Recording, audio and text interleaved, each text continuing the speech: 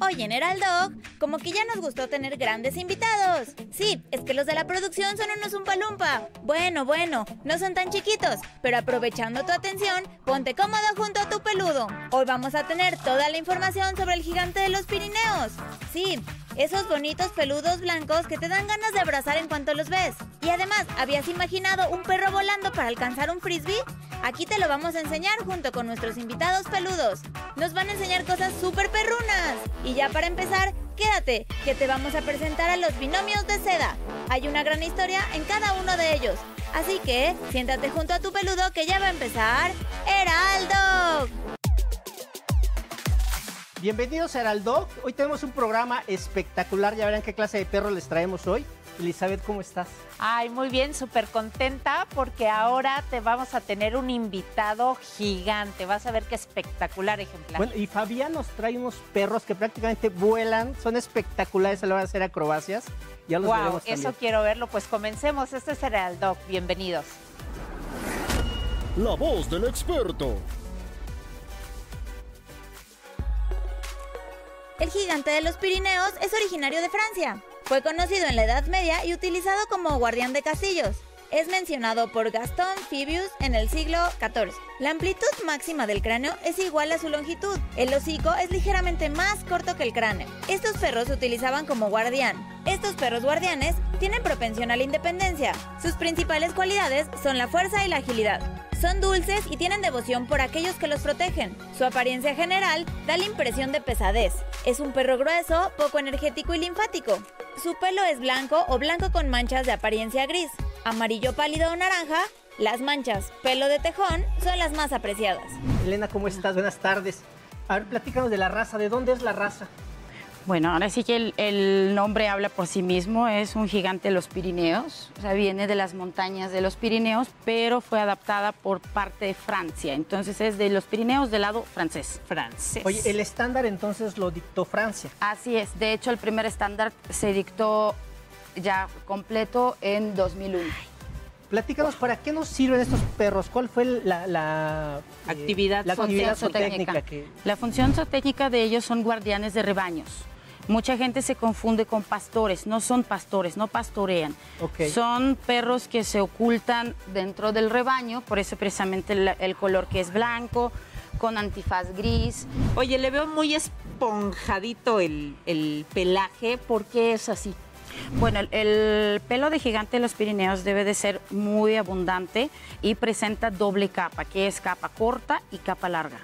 Ajá. El pelo largo pues le sirve para andar en las montañas uh, o sea, y no tener frío. el frío, así es. Y la, y lluvia la, también. Capa, la capa corta es lo que hace, puede mojarse de adentro, okay. pero siempre va a estar seco uh, por dentro de su piel. Oye, ¿y de temperamento cómo son? Son perros guardianes, pero con la familia, la verdad, son lo mejor que hay en el muy mundo, tranquilos. yo creo, sí. Uh, muy adaptables a, a, a, a, las familias, a vivir con ellos. Los niños los quieren mucho.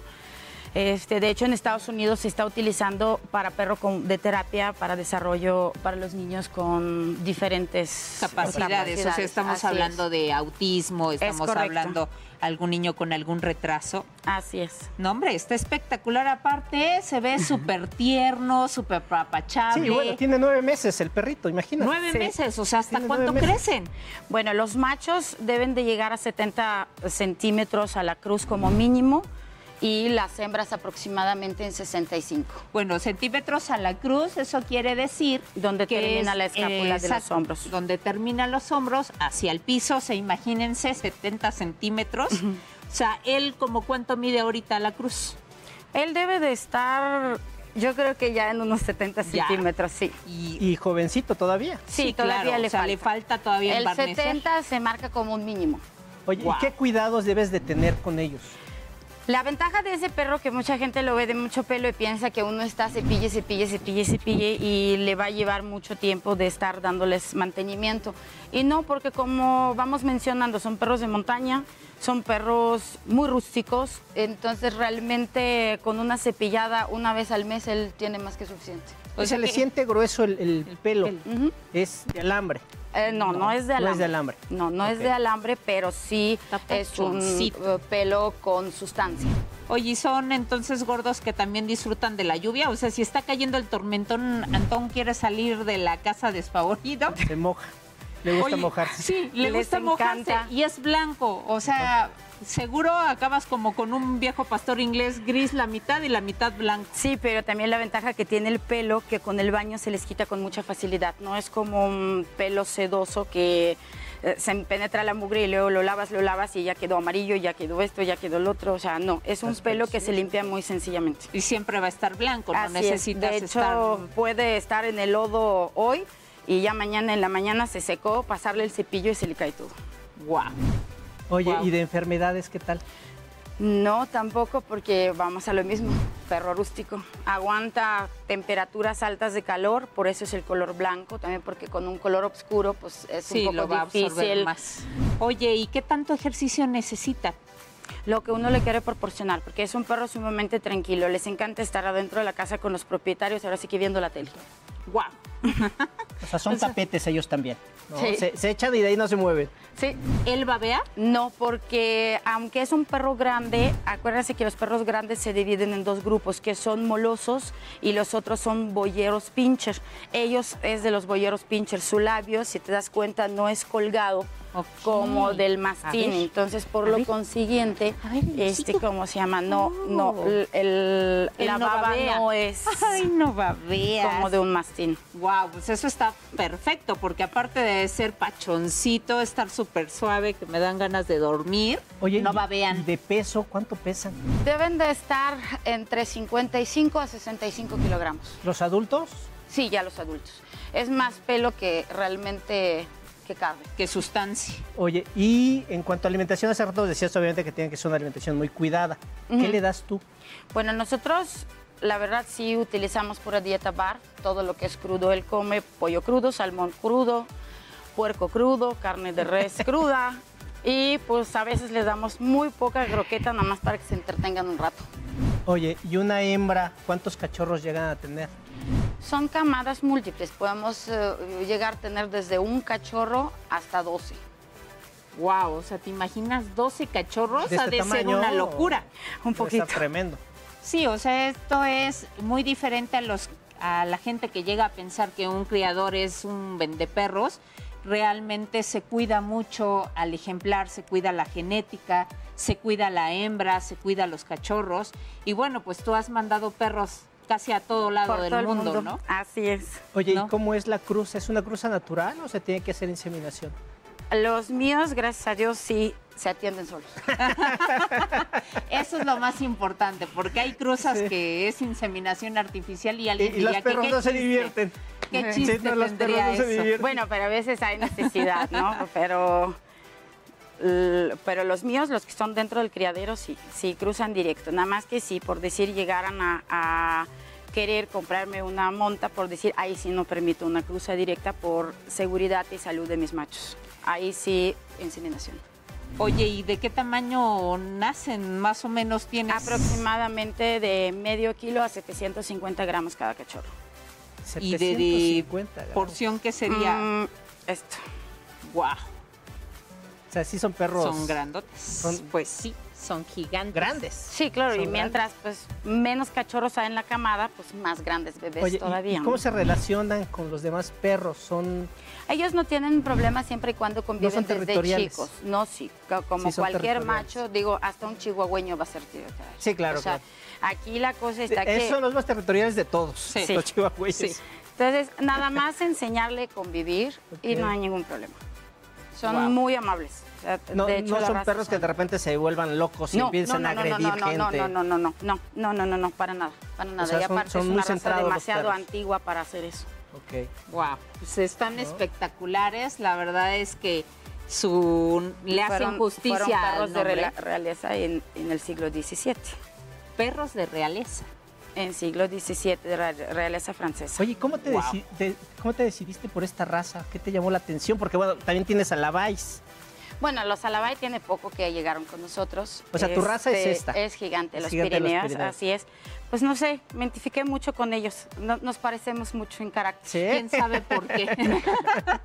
O sea, carácter ¿Quién? fuerte. wow. Así como que Eres bonito, blanquito, pero búscale y le encuentras, ¿verdad, mi amor? O- Oye, pero, pero son enormes los perros, ¿no? Nada que ver este, con otros perros que son muy este, territorial y son pequeños, ¿no? Este es un perro tranquilo, pero Así gigante, es. que te impone finalmente. Así es. ¿No? Y se adapta y pues ¿Lo puedes parar? A ver. ¿Sí? A ver, el ¿para micrófono no se toca. Vente, ¿No? vente para acá. Hey, Sube, sube. Hey. Antón, sube. vente, vente, vente. Eso. Guau.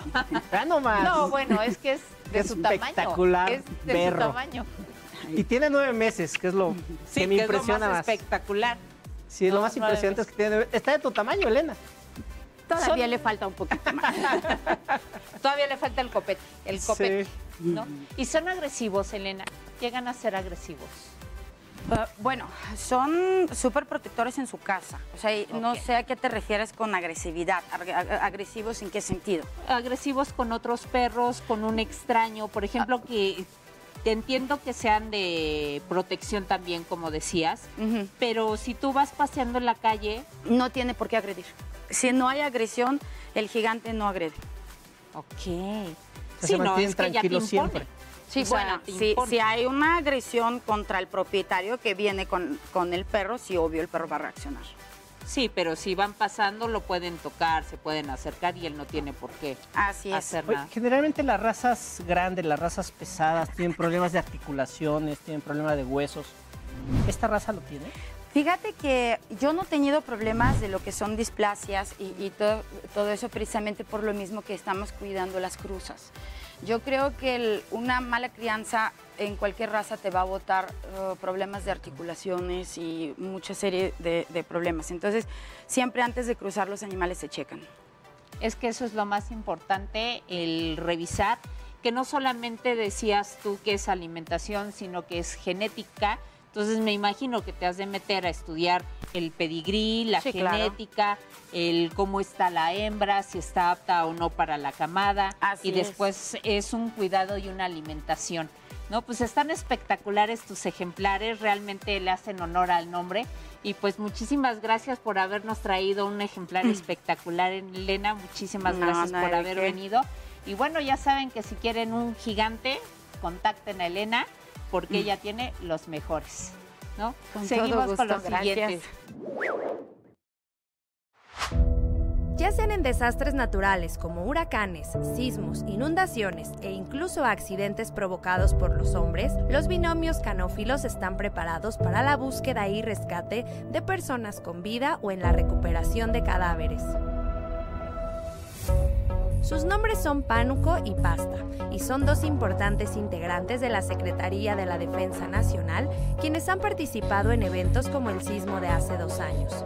Sin embargo, son dos tiernos caninos a los que les gusta la gente y jugar. El entrenamiento básico de estos perros dura de 12 a 14 meses. Diariamente entrenan hasta 4 horas dependiendo del temperamento de cada uno. Se busca que sean dóciles y amigables y que hagan equipo con los soldados. Pánuco es un perro muy tranquilo, que es un perro de los cuales este, si te acercas a él o acariciarlo, él te va a pedir muchas caricias. Es un, en nuestro trabajo como búsqueda y rescate, eh, a diario lo llevamos, llevamos nuestro adiestramiento, nos preparamos cada día para, para servir al pueblo de México. Mi relación con ella es muy cercana, demasiado. Tanto que luego, este, muchos luego así como que me hacen burla de que como es mi hermanita, pero realmente pues ya la considero como una familia. Es muy, muy, muy familiar ya mi relación con ella. Estos perros son preparados en el Centro de Producción Canina de la Sedena. La primera fase de socialización se compone de tres etapas, perro-perro, perro-hombre y perro-medio ambiente, para continuar con adiestramiento especializado. Actualmente, México cuenta con alrededor de 300 binomios caninos trabajando en diversas dependencias y cuerpos de rescate. Ingrid Montejano, Heraldo Media Group. Bueno, ya regresamos y les preguntamos, ¿ustedes han jugado a las escondidillas con su perro? Elizabeth, ¿has jugado? Pues no, pero ¿qué les parece si vemos esto? El video de la semana.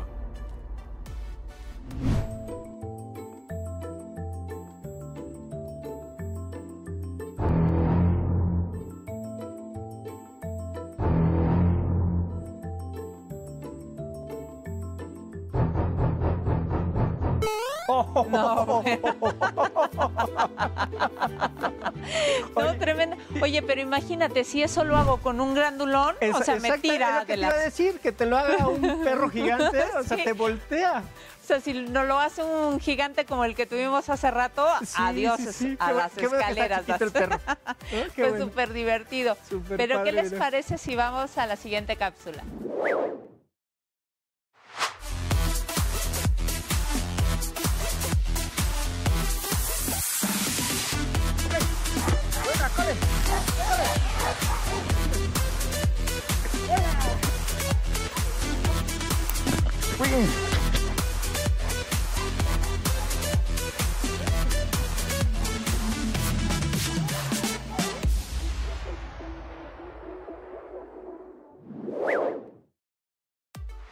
Fabián, bienvenido, ¿cómo estás? Muchas gracias aquí, con el gusto de estar con ustedes. Platícanos de estas dos maravillas y bellezas de perros que Bueno, hacen. son dos de mis perros, tengo cinco en casa, en casa de ustedes. Caray. Ella es Salus, es eh, una hembrita de la raza Border Collie. Y él es Dante, Dante es un perro de 12 años y él es adoptado. Yo lo adopté cuando tenía 4 años y bueno, 8 años de su vida ya ha estado con nosotros. Y son perros de la raza Border Collie, muy ágiles y muy inteligentes. Platícanos, ¿qué, qué vamos a hacer con ellos? Bueno, con ellos este, lo que yo hago, nuestras especialidades son el, dos- el disc dog, que es el frisbee, que atrapa en el disco, y el, y el dog dancing. La- es básicamente la combinación de trucos con música y ah, da una apariencia que el perro está bailando, puede uno disfrazarse y es como un espectáculo, ¿no? En el caso del frisbee, pues son acrobacias con el, con el disco y igual combinado con trucos. Eso es parte de lo que vamos a hacer. Todo es en positivo, estoy somos entrenadores en positivo, todo es a base de premios, de refuerzos no usamos ningún tipo de coerción para que hacer, hagan lo que, lo que van a ver. Todo se, eh, basta que ellos se diviertan, ¿no? Oye, pero decías entonces que bailan. A Sí. ver, enséñanos cómo Bueno, bailan. Vamos a A ver, ver vamos. qué hacen. Está bien. Alus, ok. Vamos, Dante, baja.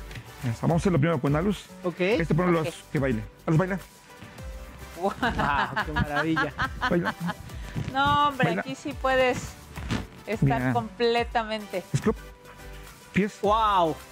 Bien. Oye, nos platicabas que había concursos internacionales de este tipo de, de Sí, hay, dinámicas. hay concursos de dog dancing. Ahí lo que califican es la comunicación con el perro. Califican, este, obviamente, que no haya castigo. En este caso estoy usando un poco de, de premios, pero ya cuando compites ya no hay premios. Aquí lo que Ahí, ahí no tienes que dar premio. Lo que califica la gente es este, el juez más bien, el vínculo que tienes con tu perro, la comunicación con- que tienes con tu perro y la creatividad. ¿no? Entonces ahora podemos ver bailar a Dante. Sí, vamos, Dante. No. Eso, Dante. Dentro, dentro, Dante, dentro. Bien. Arriba. Chócalas. Con la otra. Guau. Dante, chócalas. Chócalas. Chócalas. Eso. Con la otra. Chócalas. Con la otra. Bien. Gira. Gira. Gira. Eso. ¡Guau! ¡Qué maravilla! Él, él tiene un truco que es como su plus, Ajá. que es que cuando hacemos eh, nuestros espectáculos, que le, doy- le doy cuerda.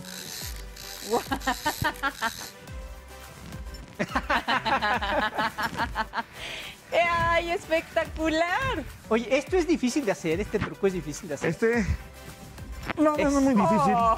Muy bien. Dante. Dante, hop. Arriba, hop. No es complicado. Ven. Es, eh, yo veía, siempre hemos visto gente que hace trucos, eh, sobre todo gente que está en Estados Unidos y Europa, y yo veía que le daban cuerda a su perro y el perro en el mismo lugar giraba como loco, ¿no? Y dije, quiero hacer eso, pero siempre he tratado de que, mi- de que nuestros trucos sean, como que tengan su toque original, ¿no? En este caso Claro. yo dije, ah, pues puedo hacer, podemos hacer el 8 entre las piernas, que es un truco bastante padre. Y entonces yo le agregué la cuerda y luego le di la, le hice la, la del 8. Básicamente es condicionamiento. Lo que hay que hacer es darle cuerda y luego darle una indicación. Que en este caso yo le digo 8 y empiezo a hacerle la, la, La la conducta, ¿no? Ahora yo no, ya no le digo nada. El hecho de que yo le doy cuerda ya es la señal para que él sepa que, él sepa que lo que sigue es que haga el 8. Y después En viene... México, en México hay eh, competencias de este tipo No, de todavía no hay competencias ahí. Eh, queremos entonces empezamos eh, empezar el año que entra, vamos a traer algún juez de, de Europa o de Estados Unidos, sobre todo de Europa, porque es la, la gente que tiene como más creatividad en cuanto a estilo libre. Y queremos ver si el año que entra ya podemos hacer alguna competencia. Y hay gente que hace como sus pininos, pero todavía falta bastante camino por recorrer en ese sentido. Oye, pero son súper cariñosos, ¿no? Muy Entonces pueden hacer truco con alguien más que no seas tú. con cualquier persona. O sea, Oye, yo- a ver, A ver, yo, vi, Roberto. yo vi un truco donde estás tú acostado y se suben a los pies. sí, ¿Lo podemos a hacer? Sí, Claro. pero va. A ver, tú, di- tú dime, Mira. ¿cómo me pongo? ¿Te vas a acostar? Acuéstate. Eso. Hacia, sea hacia acá para que el perro Sí. quede de frente. Tante pie. Ven para allá, ven para allá. Ven. Pabulle.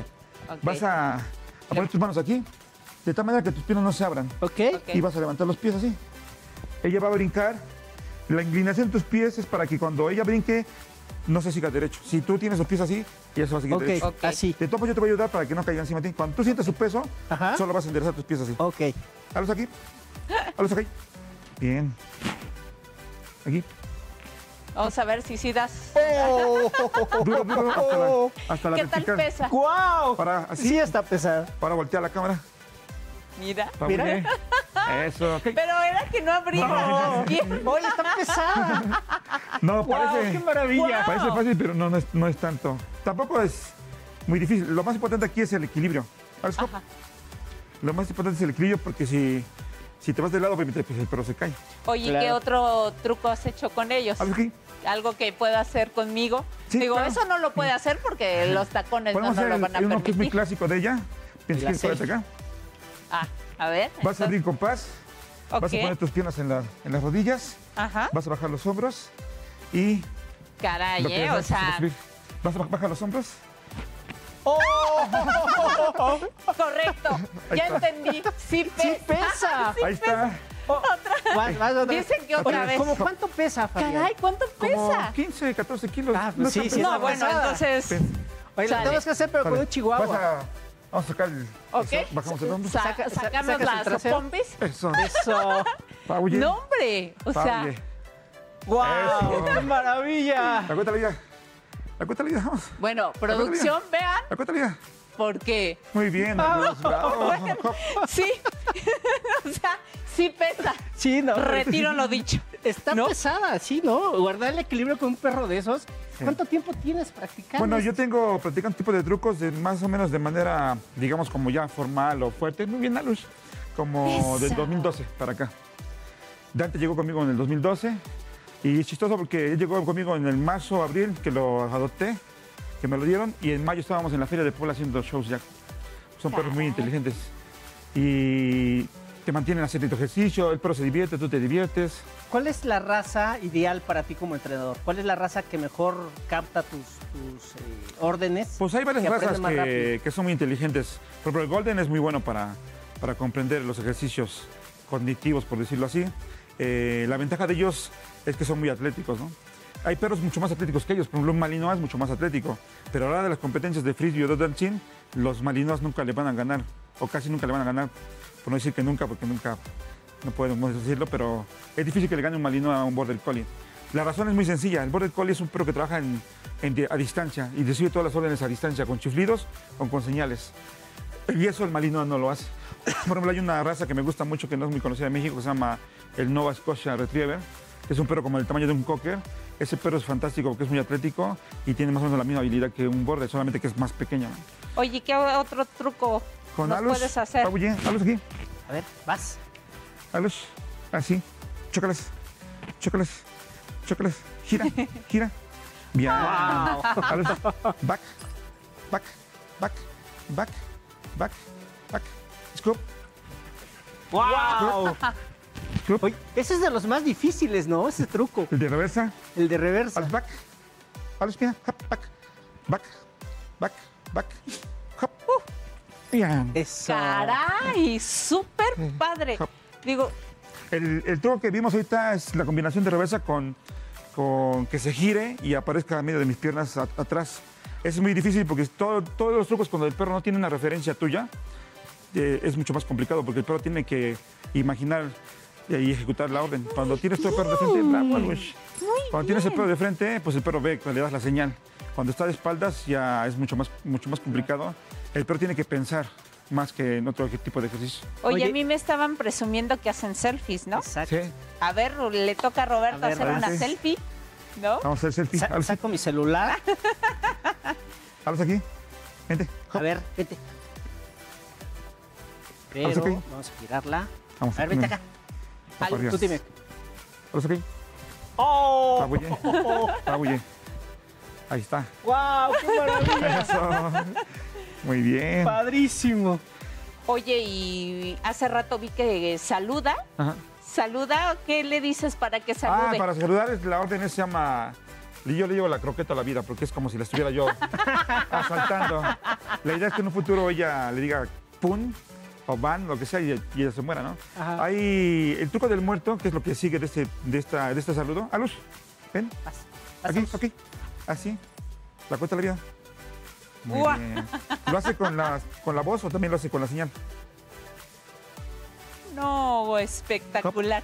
Entonces, este, Espectacular. El truco de, de que se muera o el muerto no, lo, no, lo- no se lo he montado, porque la mayoría de los perros se mueren de lado.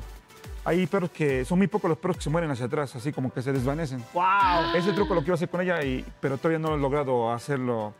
eh, Estás porque es un trabajando truco en de- ello. Es un truco de confianza. Dejarse ir para atrás, Claro. tiene que tener totalmente la confianza de que no le va a pasar nada. Oye, ¿y cada cuánto tienes que reforzar todo lo que ya aprendieron? ¿Tiene que ser un entrenamiento diario como los futbolistas, por yo ejemplo? puedo trabajar con ellos dos o tres veces por semana, unos 10 minutos. Si quiero montar un truco nuevo, entonces sí, a lo mejor trabajo tres o cuatro veces por semana, cinco minutos, pero solamente ese truco. O sea, los dejo en paz en el sentido de que sean perros normales, jueguen. Se andan en la casa Sí, tranquilamente. conviven con otros Por perros, todos sí. lados, conviven. Y ya cuando tengo un evento en puerta, por ejemplo una competencia que ahí hay que afinar más el trabajo, pues trabajo más o menos como unas dos semanas antes, tres veces por semana promedio. Lo que sí es que, que cada evento que yo voy, y yo le recomiendo mucho a la gente, eh, que siempre vayan, vayan a entrenar. Por ejemplo, ahorita lo que estoy haciendo es un entrenamiento porque los estoy premiando, las luces no, son lo que- no son cosas que veamos todos los días, y les estoy de entrenamiento para que en un futuro no, no, no les afecte. Tante, Perfecto, pues yo creo que ahora para despedir el programa de una manera totalmente diferente a los otros programas, vamos a hacer una selfie todos Sí, claro. y que se nos pongan. A ver, A ver, equipo chicos. de producción, vénganse. Chicos, corran, vénganse. corran. Pabulle, a los pabulle. Todos a la selfie. Bravo, a los. Ven, a los, A los aquí, a los aquí. ven, a A los. los aquí. No, dijo a Luz que ya. Ahí están. ¿Listas? Una, Bravo, dos. Luz. A Luz ya Tres. se movió. Esto, espero que les hayan gustado. Esto es Heraldo, ¿no? el programa dedicado a, a los perros. Muchísimas gracias, Fabián. La verdad es que son espectaculares y espléndidos tus Muchas ejemplares. gracias, la pasamos muy, muy padre. No, nosotros también. Y bueno, muchas gracias, Roberto. Y ya, Muchas sé, ya gracias. quiere Mira, él también. ya está despidiendo. ¿no? Esto es Heraldo. Nos vemos la próxima.